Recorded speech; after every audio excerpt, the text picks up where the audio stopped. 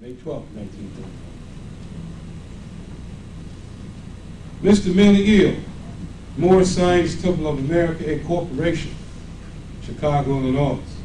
Dear sir, kindly acknowledging your receipt of $120 for professional services rendered in the case of Moorish Science Temple of America Incorporation by C. Kirkman Bey versus E. Mealy El. Mm.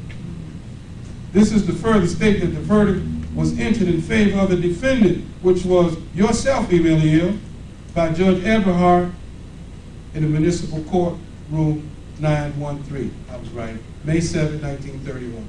Case number 1746990. Anybody ever he- heard of this? Anybody ever read it, ever seen it?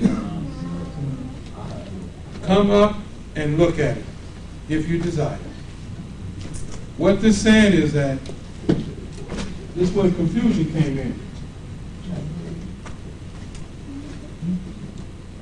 Kirk Bay wanted to sue the Moorish Science Temple of America, saying that he was here and he